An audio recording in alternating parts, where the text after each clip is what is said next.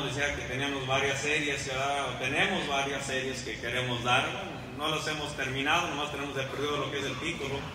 La verdad, la introducción, unas ya están un poquito más avanzadas, hemos estado trabajando en alguna de esas series. Pero una este, se titula Reyes y Sacerdotes. Reyes y Sacerdotes es una de esas ah, series. Ah, la otra es la enseñanzas de Jesús. Pero ah, nos daba un poquito ahí de sería la palabra de freno, esta enseñanza, esta serie que se titula La obediencia, ¿verdad? Una serie mucho, muy importante, hermano, porque ¿para qué queremos reyes sacerdotes si son desobedientes? Amén. Amén. Y pues sí, la palabra del Señor dice que somos reyes y sacerdotes, somos una nación de reyes y sacerdotes, pero ¿quién quiere reyes y sacerdotes desobedientes? Y ahorita nos vamos a dar cuenta por qué es tan, tan importante que hayan reyes obedientes. Amén. Así que vamos a dar inicio uh, en primer libro de Samuel. Primer libro de Samuel, capítulo 15, versículo 22.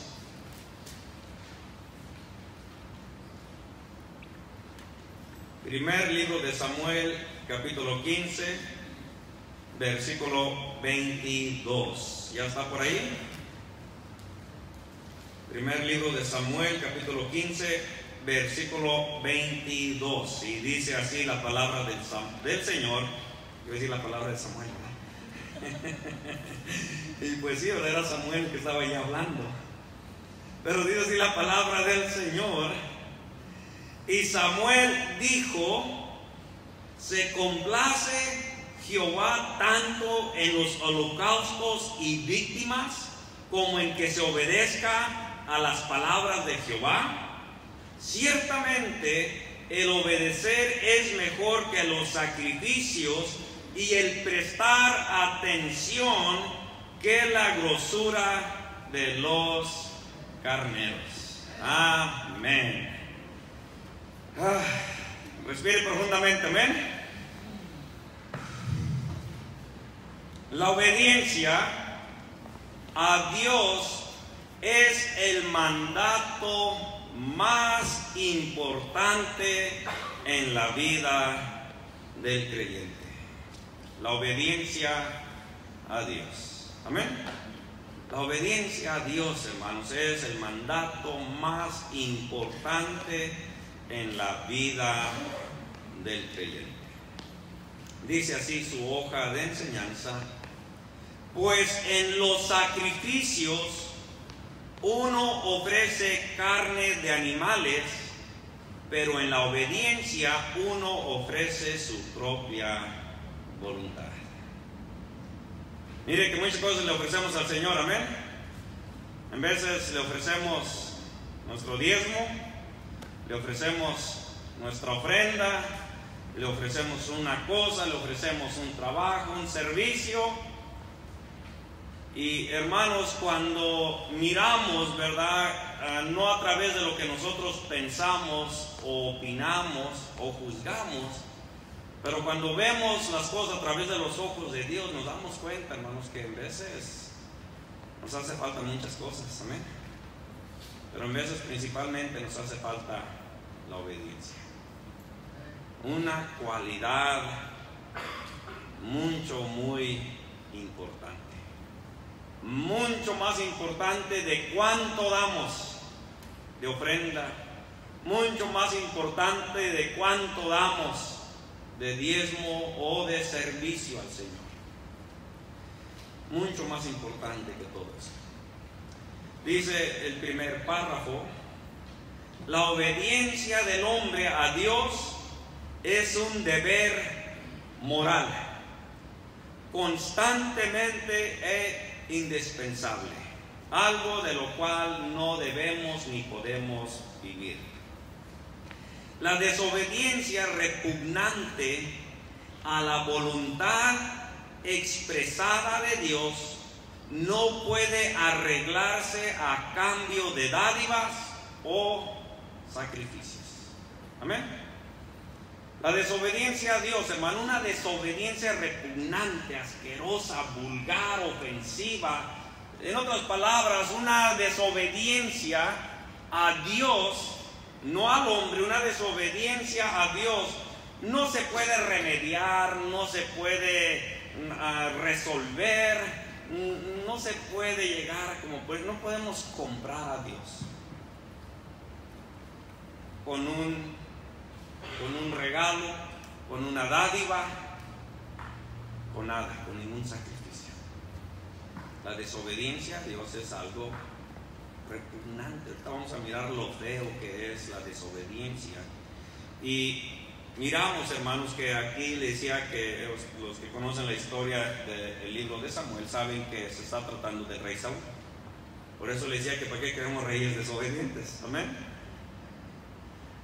Y pues miramos que este rey, el rey Saúl, fue desobediente. Y nos damos cuenta que aún a Saúl, si usted lee toda la historia, usted se da cuenta que Dios le había enviado a Saúl a hacer una tarea.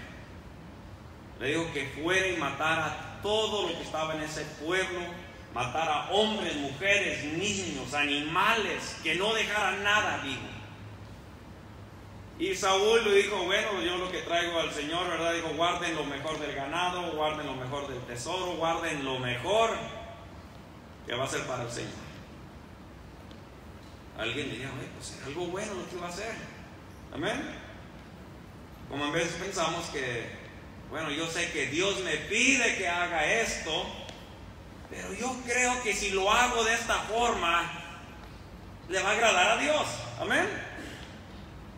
Creo que si lo hago de otra manera, en vez de como Dios me está diciendo, creo que a Dios le va a gustar mi forma de pensar. hermanos, y qué importante es asegurarnos de que obedezcamos simple y sencillamente la voluntad de aquel que es digno de obedecer, la voluntad de Dios. Sabemos que a través de esta historia, ¿verdad? Que Saúl sí pensó quizás quedarse con parte de eso, pero ya cuando miró que llegó Samuel dijo, bueno, es para Dios. ¿Verdad? Pero según él pensó que si se lo daba a Dios iba a agradarle a Dios. Por eso es que si usted lo lee nuevamente conmigo, el versículo 22 dice, y Samuel dijo, se complace Jehová tanto en los holocaustos y víctimas en otras palabras, tú le traes según estos animales para presentárselos al Señor, que porque era lo mejor que te habías encontrado, cuando Él ya te había dicho que destruyeras todos los animales, que destruyeras todo, que no dejaras nada allí. ¿Será acaso mejor? Por eso dice, ¿se complace Jehová tanto? En otras palabras, ¿realmente crees que a Dios le gusta la dádiva, el regalo, el sacrificio que le traes, como la obediencia. Como en que se le obedezca a las palabras, y lo dice, como que se obedezca a las palabras de Jehová. Era una pregunta, quizás Saúl no le respondió rápido y le tuvo que responder o continuar Samuel diciéndole a Saúl, Ciertamente el obedecer es mejor que los sacrificios. Cualquier cosa que le podemos dar al Señor no se compara como el ser obediente a la palabra de Dios. No se compara. No se compara lo que le podamos dar, los regalos, los sacrificios, el trabajo. No se compara como el obedecer la voz de Dios. Sigue diciendo, ciertamente el obedecer es mejor que los sacrificios y el prestar atención que la grosura de los carneros. El prestar atención. Amén.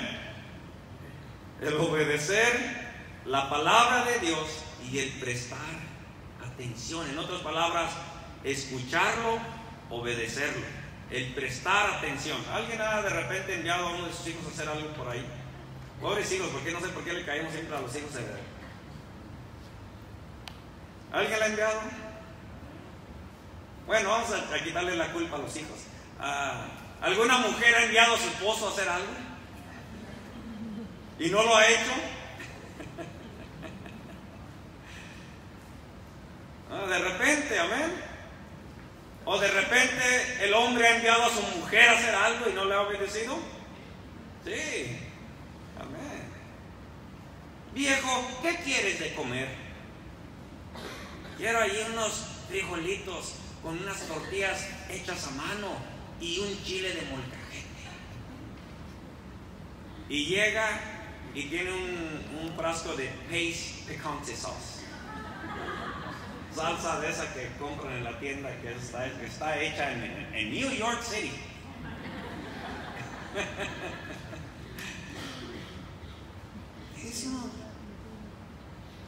¿por qué me preguntabas? ¿Qué, ¿Qué era lo que querías? Si, ¿Qué era lo que querías y no lo ibas a hacer? ¿Verdad? Y aquí nos damos cuenta, hermano, que sobre todas las personas que hemos de obedecer, al Señor. Y la desobediencia, hermano, realmente es algo desagradable delante de Dios. Y el siguiente párrafo dice, la desobediencia es rebelión. Amén. Mire el versículo 23 ahí conmigo.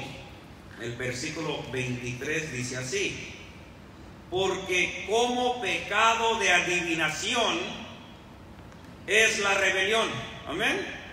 Mire, aquí está eh, comparando la desobediencia a la rebelión. Es una, la desobediencia simple y sencillamente es rebelión contra Dios. La, la desobediencia es rebelión. Es alguien que le está haciendo, ahí le puse entre, entre comillas las palabras, resistencia ante alguien o algo. Rebelión es resistencia, resistir, ir en contra Y dice así el versículo 23, mire cómo es el versículo 23, sigue diciendo, porque como pecado de adivinación es la rebelión. Imagínense eh, los que saben lo que es la adivinación, o por decirlo hasta la brujería.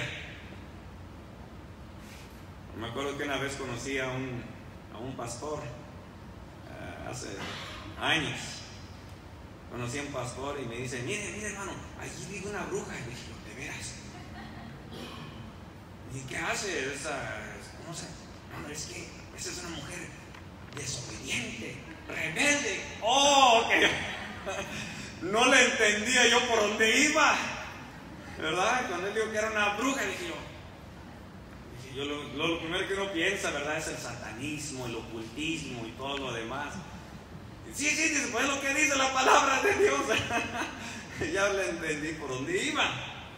Pero, imagínese, hermano, ante los ojos de Dios dice, porque como pecado de adivinación es la rebelión y como ídolos y, o idolatría la obstinación. Es una persona obstinada. ¿Qué entiende usted por la palabra obstinada? ¿Qué más? ¿Perdón? Necio. Terco. ¿Cuándo es una persona necia y terca? Cuando se le envía a hacer algo, amén. Se le envía a hacer algo y la persona no obedece, se revela, resiste a hacer lo que se le está enviando y es una persona, ¿verdad? Obstinada. Por eso, mire, cómo está refiriéndose. Aquí dice, porque como pecado de adivinación, haga de cuenta que es un brujo, una bruja. Porque como pecado de adivinación es la rebelión y como ídolos, imagínense, y como ídolos e idolatría la obstinación. Oiga, eso es, eso es fuerte a los ojos No estamos hablando, hermano, de lo que el hombre opina, de lo que el hombre piensa. Estamos hablando de cómo ve Dios las cosas, hermano, porque usted y yo muchas veces juzgamos las cosas muy livianamente. Amén. Las juzgamos muy livianamente las cosas.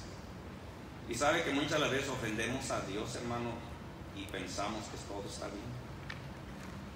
Ofendemos a Dios y no nos damos cuenta cuánto le ofendemos a Pero continuamos, sigue diciendo,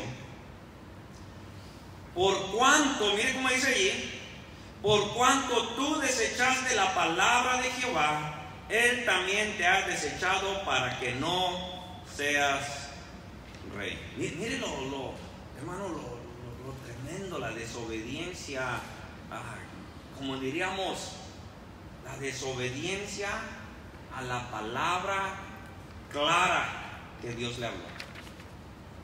Dios le dijo, ve, mata todo allí, animales, todo, no tomes nada.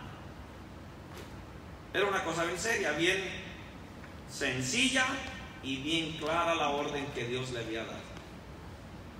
Muy clara. Pero cuando él llegó allí, él vio y dijo, de los mejores animales, de los mejores del ganado, apártenlo para sacrificárselo al Señor.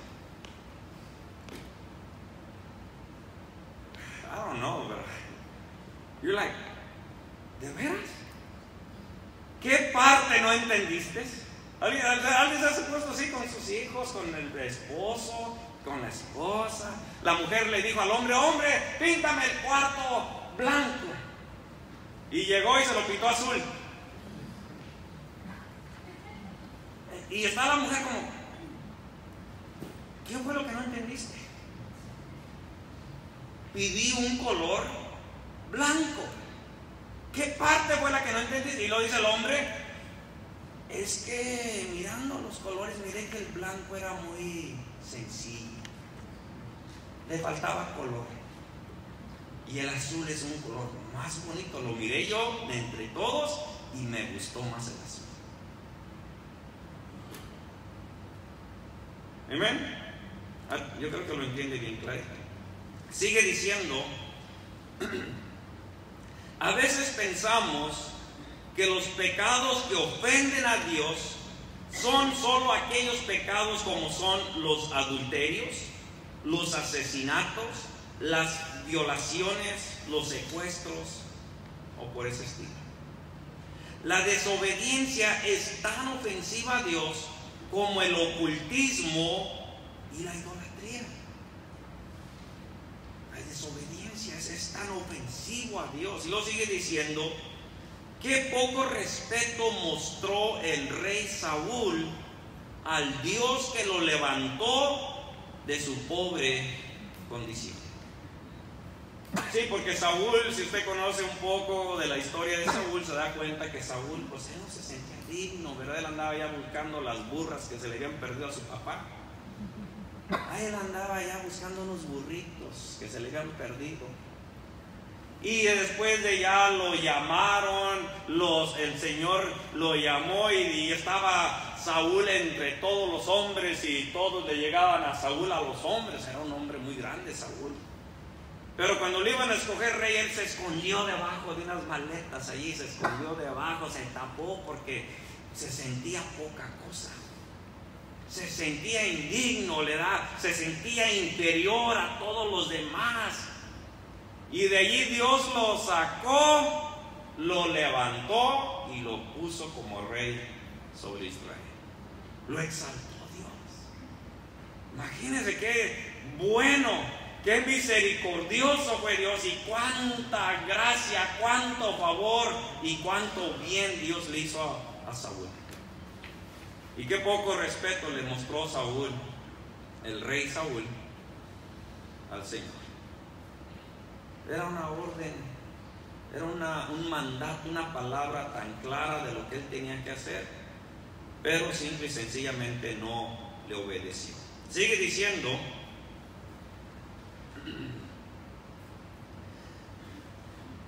lo único que se esperaba de él y de nosotros, obediencia. Amén. Obediencia. Los términos traducidos por obediencia en el antiguo, Shama, y nuevo, Hipaku y Isaiku, no sé, hebreo, I'm sorry. Pero estos términos del Antiguo y Nuevo Testamento denotan la acción de escuchar o prestar atención. Amén. Escuchar o prestar atención. Otros términos que utilizan en el Nuevo Testamento, también son uh, que es ser persuadido y peitargeo, someterse a la autoridad. Mire lo que significa eso, ser persuadido o someterse a la autoridad junto con lo que es la, este, la acción de escuchar o prestar atención. Miramos lo que significa la palabra obediencia. Prestar atención, ¿verdad? Este es, eh, eh, eh, denotan la acción de escuchar, de poder escuchar. Estar a un ser persuadido, ser persuadido y someterse a la autoridad. Es obediencia. El significado central procede en relación a Dios. En relación a Dios se refiere este significado de la palabra ah, obediencia a las escrituras. Él da a conocer su voluntad mediante su voz. Amén. Él da a conocer su voluntad mediante su voz o su palabra escrita. Y frente a ella no hay neutralidad posible. Dios da la palabra y uno no puede quedarse neutral, sin moverse. Tiene que haber una acción, una respuesta a la voluntad de Dios. Sigue diciendo su hoja de enseñanza. Prestar atención humilde es obedecer, mientras desestimar la palabra de Dios es rebelarse o desobedecer. Es algo, hermano, feo de todas las personas que podemos desobedecer o rebelarnos en contra. Es lo peor desobedecer y rebelarnos en contra de Dios. Sé que en estos días hay muchas protestas, amén. Hay protestas hay rebeliones. Y no nos vamos a someter, tú no eres el que nos manda. Amén. Y son los hijos diciéndole a los padres, tú no me mandas. Get out of my life, esta es mi vida, ustedes ya vivieron su vida. No me digan cómo Y en vez también empiezan las mujeres así con los esposos. Después hablaremos de eso el día de hoy. No, no se preocupe. Mujer, no se preocupe. Hombre, no se preocupe. Eso viene. Porque sí. Qué horrible se mira la desobediencia. ¿Alguien ha visto la desobediencia? el otro día me dio un caso que me dio ah, vergüenza a mí. Fui a una tienda, no sé a dónde fui. Pero eh, la mamá decía algo al muchacho. Pues era un niño, ya era un muchacho de unos 13 años. Y la mamá algo le decía al muchacho, ¡ah! Vea, 13 años, delante de la gente. Bueno, uno entiende cuando somos niños, en vez allí, hay que darle unos dos, tres manotazos también para que se, se alivianen. Pero, oígame, ya un muchacho de unos 12, 13 años, delante, de y aventando ahí las cosas delante de la gente, y la mamá, la y la mamá se ponía roja, morada, azul, verde, cambiaba de color. Y la mujer ya al último desesperada no le quedó más que se volteó y dijo, que te callaras, ¡paz! Lo puso en su lugar.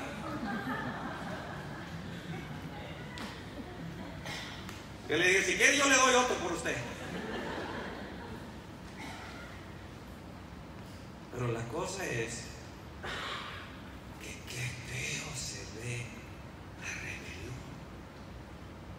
¡Qué feo! ¿Cuántos de aquí no han visto videos de los niños gritándole a los maestros en las escuelas? Oiga, yo a veces yo digo que la gente en estos días de veras, ¿cómo apoyan a sus hijos rebeldes? Rebeldes, desobedientes, no quieren respetar a los maestros, no quieren respetar a los, a los principales, menos a los policías. Y después viene el policía y los saca y los quiere sacar de la, a la fuerza del... Y ahí viene la mamá. ¿Y por qué sacaron a mi hijo de la clase? Porque usted no lo educó. Porque usted no lo educó. Por eso alguien más tiene que venir y usar fuerza. Porque no en todo lugar se le va a aceptar la desobediencia y la rebeldía. Y mucho menos con el Señor. Oiga, y es increíble. Es increíble cuando vemos, yo no sé ni qué llamar la generación que estamos viviendo. Yo no sé si llamar los monstruos que está criando la generación esta. Oiga, una rebeldía. Ni a los policías se le respeta. Antes, oiga, miraba un policía que dijo, ay, apaga el radio. No, al día le vino un policía, dale más recio. No, ¿quién te va a mandar él? Dale. Yo le pago a él. Sí, es lo que decimos. Yo le pago con mis taxas. Oiga, una rebeldía horrible. Y después los matan. Ay, ¿por qué el oficial tuvo que matar a mi hijo? Porque su hijo le sacó la pistola. Porque su hijo le, se, le, se le aventó al oficial. ¿Por qué le tuvieron que quebrar la mano? Pues porque no quería. ¿Por qué le tuvieron que echar un perro que lo... No tienen que usar tonta, pues no tienen si fuera obediente. No tienen que hacer. Oiga, hermano, pero ¿cómo estamos viviendo una generación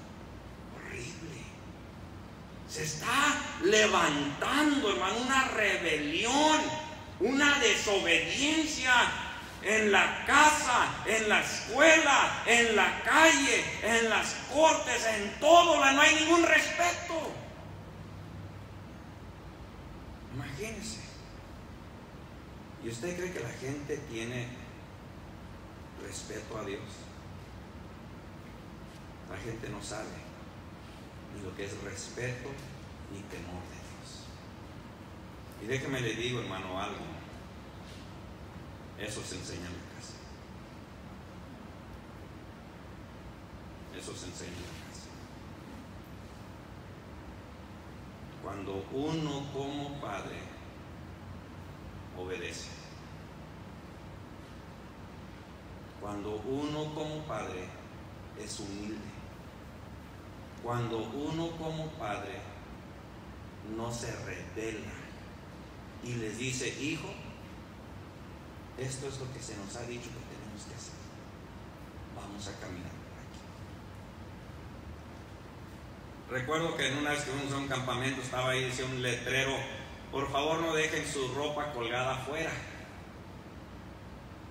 Y cuando llegamos ahí con los jóvenes, ah, tirando toallas y todo, yo le dije, eh, recojan sus toallas recogen sus, calzoncillos, quedaron ahí secándose porque venían del, salieron del, del lago, salieron de nadar y los quedaron ahí para que agarraran. No, no, no, y recojan, métanlo todo para adentro.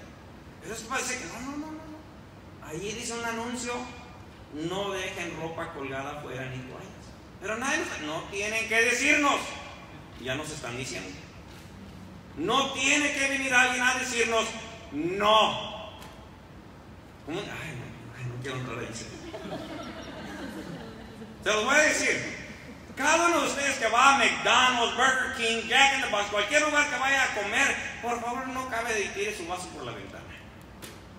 Ay, Y ahí dice en el vaso, do not litter.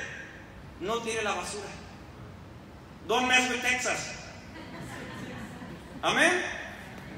¿Y por qué lo hacemos? Ay, Señor, ¿cómo somos desobedientes? Dígame. Diga, ouch, aleluya, gloria a Dios. Diga, ay Señor, perdóname. Algo.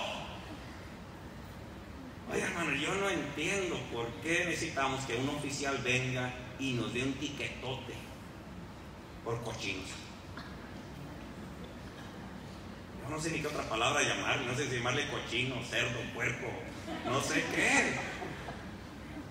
Yo no entiendo, no lo concibo se nos dice no litter, no tire, y dice allí en su vaso, en su bolsa, dice, please put me in the trash. Ah. Cambiemos, amén. Estoy alterando. Quería empezar el año tranquilito. Estaba hablando ahora con un hermano y decía, Pastor, you gotta relax. Chill out, take it easy. Ay, ¿Dónde me quedé?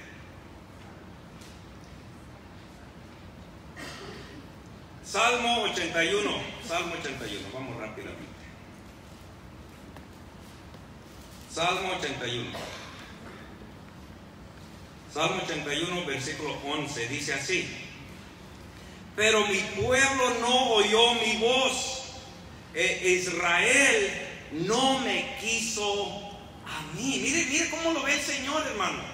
Cuando no queremos escuchar su palabra, cuando no la queremos obedecer o ponerla por obra, el Señor aquí está diciendo que a Él es al que no lo queremos. Dice así, pero mi pueblo no oyó mi voz, Israel no me quiso a mí. Vamos allá a Jeremías rápidamente también. Jeremías 7, 24. Jeremías 7, 24 al 28. ¿Ya está ahí? Jeremías 7, 24 al 28 dice, y no oyeron ni inclinaron su oído. Antes caminaron en sus propios, ¿qué dice? Consejos, en sus propios consejos. Mire cómo está diciendo allí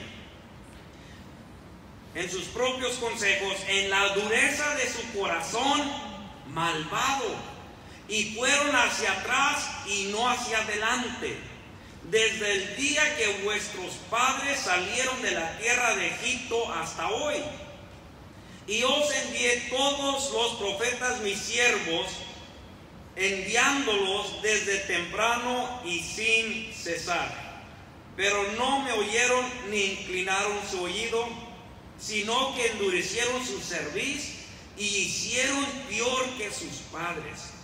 Tú pues les dirás todas estas palabras, pero no te oirán, ay Señor. ¿Alguien ha escuchado eso antes?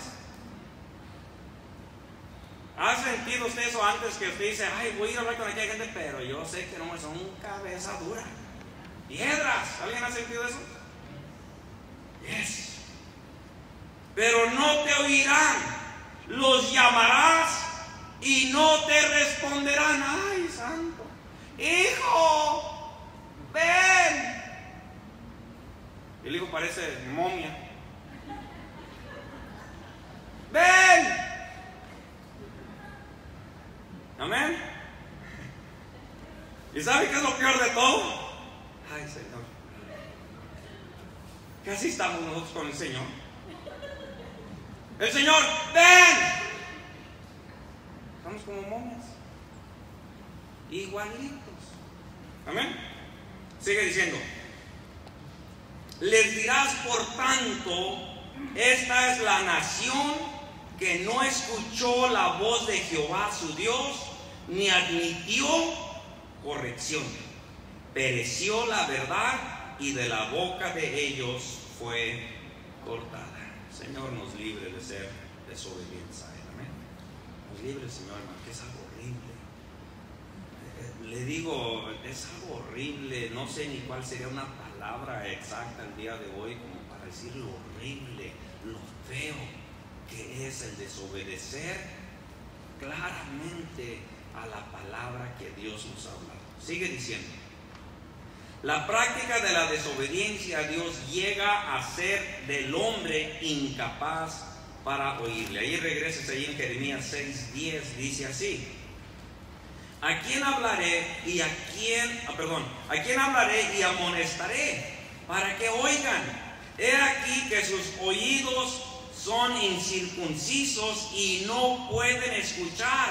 He aquí que la palabra de Jehová les es cosa vergonzosa no la aman. Imagínense, les da hasta vergüenza oír, hablar de la palabra de Dios. Dicen, no, mire, la desobediencia, hermano, causa que no podamos ni oír la palabra.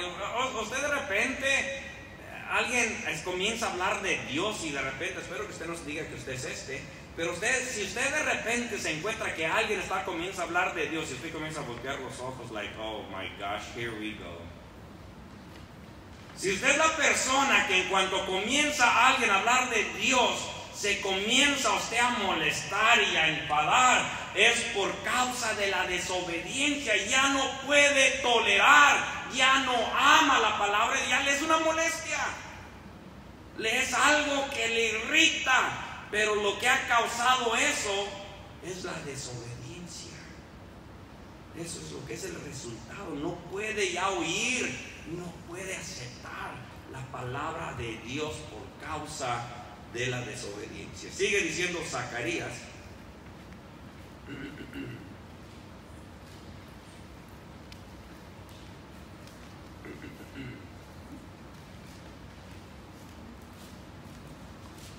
Zacarías 7:11. Zacarías 7:11 dice así. Pero no quisieron escuchar, antes volvieron la espalda y taparon sus oídos para no oír. Ahí se da cuenta usted, ¿verdad? lo que produce, ¿verdad? La desobediencia al hombre lo hace incapaz. La desobediencia no quiere oír porque no quiere obedecer. Amén. No quiere obedecer. No quiere simplemente que se le dé una orden, que se le diga cómo vivir. Simple y sencillamente no quiere y es incapaz, hermano. Por eso es que cuando usted y yo de repente nos encontramos hablando con alguien, esa persona se comienza a enojar. Es porque simple y sencillamente su desobediencia no les permite oír la palabra de Dios. Les choca, les molesta. Sigue diciendo, muchas veces entendemos la voz de Dios. Amén. La entendemos. Muchas veces es algo entendible, la entendemos. Le escuchamos claramente cuando nos dice que hagamos o dejemos de hacer algo. ¿Alguien dice amén? Cuando usted lee las escrituras es algo claro, amén. Ah, por ejemplo, usted de repente lee las escrituras y, y dice no os embriaguéis con vino, es algo claro. Me acuerdo que una vez uno de mis tíos me decía, es que hijo, cuando tú lees la Biblia le entiendes una cosa, cuando tu padre lee la Biblia le entiende, cuando yo la leo le entiendo otra cosa. Le digo, a ver, uh, tío, le digo, vamos a ver si es cierto, vamos a leer una escritura. Y le leí las escrituras y le, dice, le digo, tío, ¿qué dice aquí? ¿Verdad? Vamos a decir que dice, no os embraguéis con vino, vamos a decir que fue esa. Le digo, ¿qué dice aquí? No os embraguéis con vino. ¿Qué le entiende usted, tío? Nomás le da risa emborrache. Es algo bien claro. Amén. ¿Para qué le buscamos cinco patas al gato? Cuando sabemos que nomás tiene cuatro. ¿Verdad? Es tan entendible y es tan clara. No mintáis. Amén. ¿Qué quedará decir el Señor?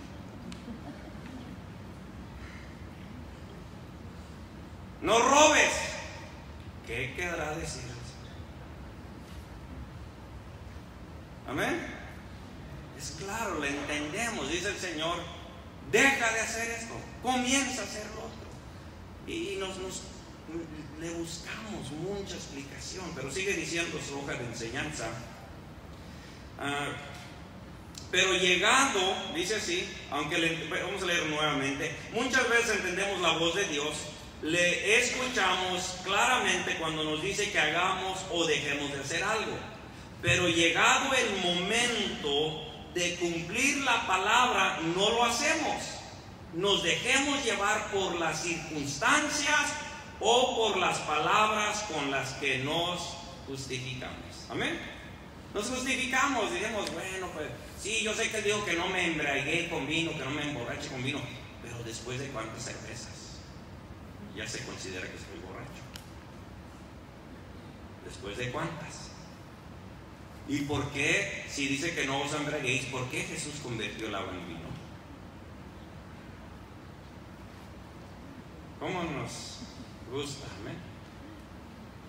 Y, y aquí vemos, ¿verdad? Que cuando ya se llega el, momento de cumplir, de obedecer la palabra de Dios, no lo hacemos, nos dejamos llevar por las circunstancias, por lo que vemos, por lo que está delante de nosotros. Eh, sabemos lo que tenemos que hacer, eh, eh, lo que es más, hasta conocemos las escrituras, amén, las conocemos. No, eso está en tal escritura, en primera, esto está en Romanos, no, eso está en Éxodo, eso está en Levítico, y conocemos dónde nos manda y dónde nos prohíbe y dónde nos da luz verde. Pero a la hora de la hora, amén, a la hora de la hora, no obedecemos, ya sea por la circunstancia, ya sea porque decimos, bueno, quizás, quizás no es así, quizás era otra era, era otra época, quizás las cosas han cambiado, ¿verdad? Ya fulanito de tal vive de otra forma, comenzamos a justificarlo, pero sigue diciendo su hoja de enseñanza, la gente siempre está enfrentando grandes decisiones. ¿Alguien dice amén? Siempre, hermano, siempre estamos enfrentando grandes decisiones. La desobediencia surge cuando la gente decide no seguir el plan de Dios. Amén. Dios ya tiene un plan para nosotros. Dios ya ha trazado un plan. Él ya ha dejado su palabra. Y la desobediencia sucede cuando simple y sencillamente no seguimos el plan de Dios, lo que Dios nos envió a hacer. Allí ya fue desobediencia. Sigue diciendo. El común dominador en todos los casos es voluntad propia, desobediencia. En otras palabras, la voluntad propia, ¿verdad? Nosotros estamos delante de una circunstancia y aunque Dios dijo que eso era malo y que no lo hiciéramos, es nuestra voluntad propia. Nosotros decidimos. Nosotros estamos delante de una decisión, delante de un problema, delante de un obstáculo y nosotros por nuestra voluntad propia decidimos. Aunque sabemos lo que Dios nos ha dicho, lo que es la desobediencia. Ese es el común dominador en todos los casos. Sigue diciendo su hoja de enseñanza. Es más, la mayoría de las personas no discuten que lo que se predica no es bíblico. Amén. Mucha de la gente no discute que no es bíblico. No, si usted supiera, ay, cuántas bendiciones nos envían. Yo digo, oye, de veras que ni siquiera hablé de eso, ni siquiera hablé de eso y me están diciendo esto y lo otro porque pues no pueden discutir en contra de la palabra, de que la palabra es, eh, que eso no es bíblico, que Dios no, ese no es el problema, el problema simplemente es que no les gusta. Pero sigue diciendo, sigue diciendo sobre la enseñanza, este, muchos no discuten, muchas personas no discuten que lo que se predica no es bíblico, aceptan que es bíblico, pero muchos sencillamente dicen en su mente, Estamos cómodos como estamos viviendo y no queremos cambiar. En pocas palabras, yo he hablado con muchas personas y en, estos últimos, en esta última semana con un grupo más de diferentes personas y, hablando con algunos de ellos, oiga, yo ah, platicando y no, hombre, sacaban escrituras y dije, aleluya, gloria a Dios. Y dije, ¿usted es cristiano? Mm, pues tengo muchos años de conocer a Cristo. Y luego eh, Todavía no me bautizo. Todavía no le entrego mi vida. Oiga, Biblia. Habla bien bonito. Y luego dicen, yo sé que estoy mal. Yo sé que estoy mal, dicen, yo sé que estoy mal. No estoy, no estoy diciendo las cosas como debo de. Eh, sigo tomando, eh, sigo haciendo esto, sigo haciendo lo otro. No niegan que la palabra de Dios es verdad, no niegan que están mal, pero hermanos, continúa la gente en una desobediencia. ¿Por qué? Porque simple y sencillamente la persona lo dice en su mente, estamos cómodos como estamos viviendo y no queremos cambiar. Eso es uno de los problemas grandes, no queremos hacer cambios. Amén. No queremos hacer cambios. Hay cosas que sabemos en las cuales estamos mal, pero simple y sencillamente nos cuesta. Nos cuesta obedecer. Nos cuesta cortar con el pecado, nos cuesta cortar con aquella persona, nos cuesta cortar con aquellas prácticas y nos cuesta comenzar a hacer algo que Dios nos pide. Porque preferimos no tener ningún cambio porque estamos bien cómodos, bien tranquilos. Y siempre que hay que cortar con algo, siempre que hay que hacer un cambio, siempre va a haber resistencia. Siempre va a haber resistencia, va a haber algo de impedimento a mí, allí. Un ejemplo, cuando usted antes de, venir a Cristo no tenía problemas con tomar, amén. Usted tomaba todo lo que quería sin Cristo. Cuando usted antes de venir a Cristo, usted echaba todos, todas las malas palabras, todas las groserías, todos los chistes de doble, miraba las películas más horribles, las escenas más feas, todo sin ningún problema. Amén. Pero el que viene a Cristo y quiere, amén, quiere obedecer a Cristo, comienza ah, a morderse la lengua. Ay, quise decir una mala palabra. Y se comienza a morder la lengua porque quiere ser obediente, amén. Todos hemos pasado por esa escuelita de mordernos la lengua. ¿Verdad? Si éramos unos tramposos, mentirosos, engañadores, y venimos a Cristo y queremos ser obedientes, cuando dice no os engañéis, ¿verdad? No nos queremos engañar, no queremos mentir, usted se siente mal si miente, amén. Se siente mal si miente. Y comienza usted a decir, ay, tengo que decir la verdad. Y hay una fricción.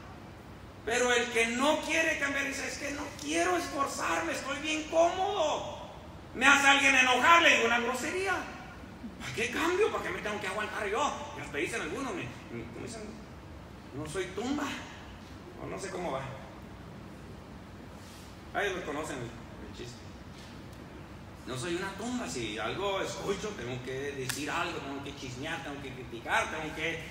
Si alguien me, me, hace enojar, tengo que ponerlos en su lugar, tengo que decirles sus palabras para... Y, miré una, una, no sé si era una, una camiseta, era un, esas cosas que ponen en la internet, memes, memes, memes, no sé cómo llaman.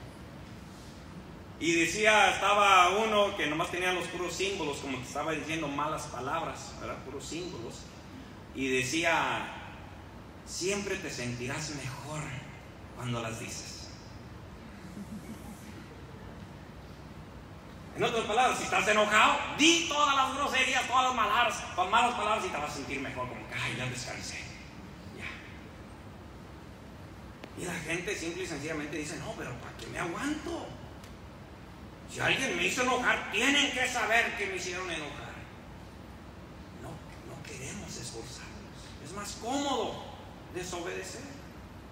Es más tranquilo, menos, implica menos fuerza, implica menos trabajo, implica menos dolor, menos andar mordiéndome la lengua, menos andar pidiendo perdón al Señor o pidiendo perdón a la gente. Es mucho más cómodo seguir viviendo desobedientemente. Sí, también otras personas dicen, simplemente no queremos hacer eso. Simplemente no queremos hacer eso, no queremos hablar verdad, no queremos. Simplemente quiero seguir mintiendo. Simplemente quiero seguir haciendo esto, quiero seguir practicando, otros no estamos dispuestos a hacer eso. Hay gente que simplemente no está dispuesta y dice, ¿para qué tengo que cambiar? ¿Verdad? Se, no, se justifica la persona y dice la persona, bueno, ¿y para qué tengo que cambiar? No quiero hacer eso. Simple, dice la palabra del Señor, ¿verdad? Que eh, un ejemplo, dice la palabra del Señor, si usted viene a entregar su diezmo y su ofrenda y se acuerda que su hermano tiene algo contra usted, amén ¿Qué dice la palabra del Señor? Déjelo, amén, déjelo, no la entregue, no la entregue, deje su diezmo su ofrenda por ahí.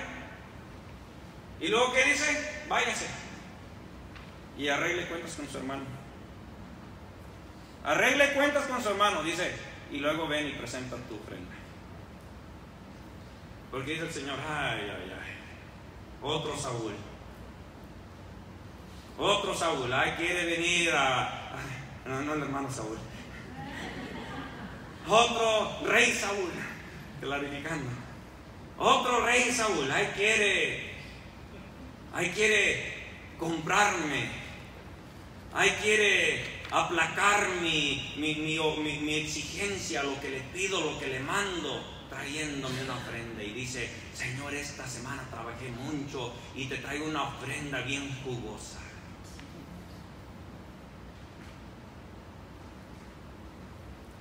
Señor dice, bueno, sigue tirando, sigue tirando. Yo te he enviado que no la entregues, que te vayas, arregla cuentas con tu hermano, ponte en paz y luego ve para que yo te bendiga. Y el Señor, hermano, sinceramente está esperando obediencia. Está esperando obediencia Y ahí es donde nos damos cuenta que en vez de simple y sencillamente decimos nosotros, no estoy dispuesto, Señor tener que ir yo, amén, tener que ir yo a pedirle perdón a aquella persona, tener que ir yo cuando aquella persona tiene un problema contra mí, el que tiene el problema es él. Yo estoy en paz, mira qué bien levanto mis manos, digo gloria a Dios, amén, aleluya. El problema lo tiene él. Pero dice la palabra, si vienes y te acuerdas que tu hermano tiene algo contra ti, vete y arregla cuentas. Vete y arregla cuentas. No me traigas tu ofrenda, no me traigas tu sacrificio, no me traigas nada. No me agrada el cebo de los animales engordados, no me agrada. Vete, arregla tu vida, vete, arregla con tu hermano y luego ve. Qué bonito fuera, amén. Qué bonito fuera. Sigue diciendo, se necesita obediencia a la palabra de Dios para recibir el final que deseamos. Amén. Ay, ¿cuántas cosas hermosas desea usted? Un buen final en su uh, matrimonio, en sus hijos, en, su vida, en, en su trabajo, en lo que usted quiera, hermano. Deseamos un buen final, amén. De acuerdo a la palabra de Dios. Pero se necesita obediencia a la palabra de Dios para recibir el final que deseamos. Obediencia a las leyes naturales y espirituales, amén. Obediencia. Sigue diciendo el siguiente párrafo. La obediencia no sucede de manera espontánea. ¿Alguien dice amén? Oiga, la obediencia no sucede de forma espontánea, no es como que algo automáticamente queremos no, no funciona así. No es algo espontáneo. Desde niños, rebeldes, desobedientes. ¿Amén? ¿Alguien dice amén? Desde niños. Desde niños. Lo baja el niño y dice, aquí quédate. Ya va el niño corriendo. Siéntate. Y dice, ah, parece que dice que, que brinque. No grites, y hasta parece que le dice que grita más. No pegues y ya el niño va pegándole a todos los demás niños. ¿Verdad? Y van creciendo y va la desobediencia. No es algo espontáneo que, oiga, que, usted le, que le diga a un niño de 3, 4 años, siéntate y que el niño le lo se sienta. Que le diga a su niño, apaga la televisión, que le, lo va y le apague la televisión. Sí, mom, you call. ¿En qué planeta vive, hermano?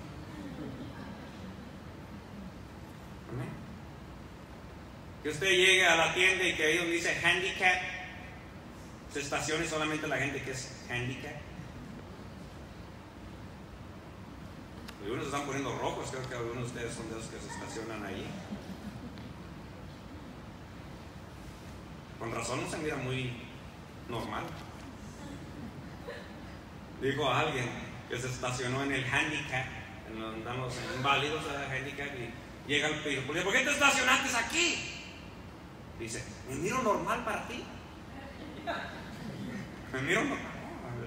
Él quería excusarse. Está su ticket.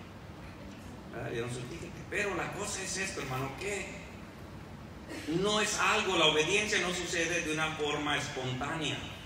se aprende y ejerce mediante nuestras actitudes y acciones. Amén. Se aprende, hermano, la obediencia, sinceramente, se aprende a través de nuestra actitud. Estamos hablando de una actitud humilde, sumisa, de una persona que quiere agradar a Dios. Sigue diciendo, diciendo Hebreos 5.8, nos dice, aún de Jesús, por lo que padeció, aprendió la obediencia. Vaya rápidamente a Hebreos 5.8 para que usted le conste, porque de repente usted no va a creer.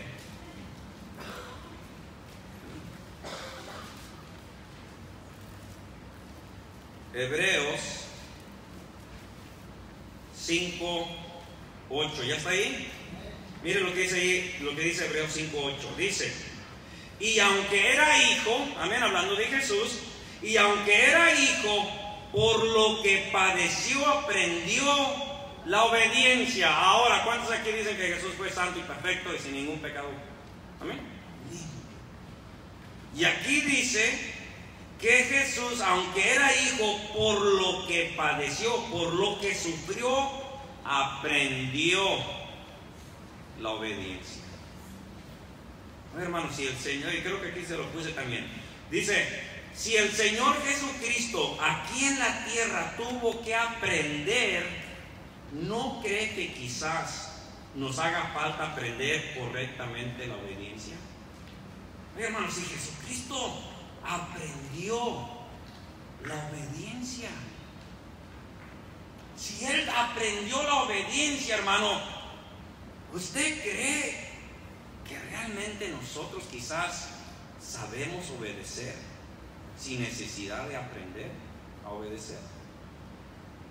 Mire, Jesús cuando era niño, ¿se acuerda que se, se extravió, se perdió ahí en el templo? se perdió y se extravió y se quedó ya hablando con los maestros de la ley, ¿verdad? Y los papás ya se habían ido de la feria, por decirlo así. Se fueron de la feria, ya iban a dos, tres días de camino y pues ¿dónde está Jesús? ¿Verdad? Igual que nuestros hijos eh, van al mall, a la tienda y se nos. ¿Dónde está este niño? Ahí andamos de tienda en tienda, ¿verdad? Se nos extravían. Y allí va la mamá y el papá, va José y María por Jesús y lo agarran de una oreja, vente para No, no se crea. Quizás sí, yo no, sé, ¿verdad? Pero yo lo estoy agregando ahí. Jesús, nos traes como locos allá buscándote. Tenemos buscándote ahí toda la caravana, buscándote, buscándote de, ciudad a ciudad. Llegamos a Jerusalén y aquí tengo el templo. Muchacho, pues ¿qué estás haciendo acá?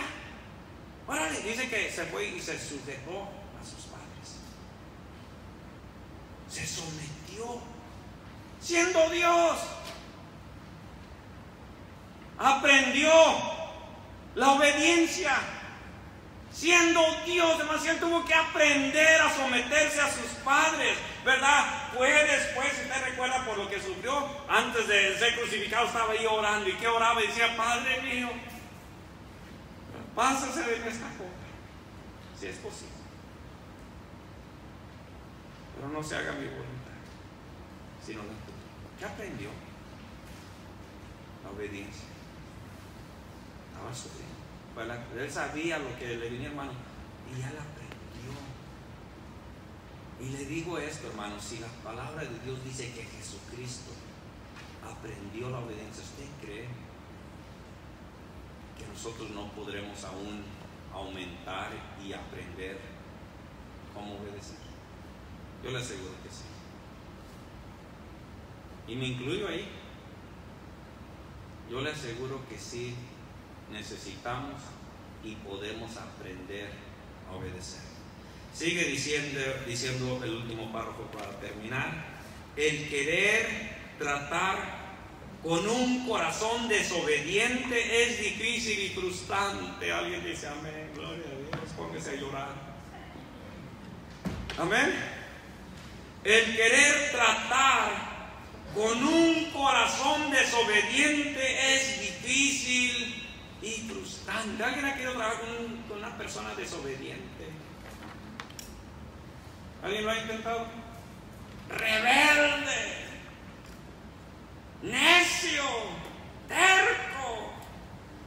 Ay, ay, ay. Es difícil y frustrante y hasta cansado en veces. ¿Alguien dice amén? cansado, hermano. Se, se, se da uno las fuerzas. Ay, ya. Mil veces le he tenido que decir. ¿Alguien dice amén? Si mil veces le he dicho, son pocas las veces que le he tenido que decir. Es frustrante, es cansado. Pero es nuestra única esperanza para un cambio verdadero. Trabajar. Y no estoy hablando de su vecino. Hablando de usted. De cada uno de nosotros. Mirar y decir, Señor, si de veras trabajo con este corazón rebelde, Señor, si trabajo con este corazón desobediente, es difícil. ¿Verdad que es difícil, hermano? Quebrar malos hábitos, malas costumbres. Desobediencia, hermano, es duro, difícil y es cansado, hermano, pero es nuestra única esperanza de un verdadero cambio. La obediencia a Dios, hermanos, es una entrega total a su voluntad. Amén. A su voluntad. Así que le quiero invitar, hermano, que vengamos a este altar. Yo le quiero invitar que venga y analice su corazón y mire usted cuánto, no mire a alguien no mire a sus hijos, no mire a su esposo, su esposa, no mire a otro hermano, mírese usted mismo, mire su corazón y diga usted realmente he obedecido al Señor en todo lo que Él me ha mandado. Realmente he obedecido la voz de Dios.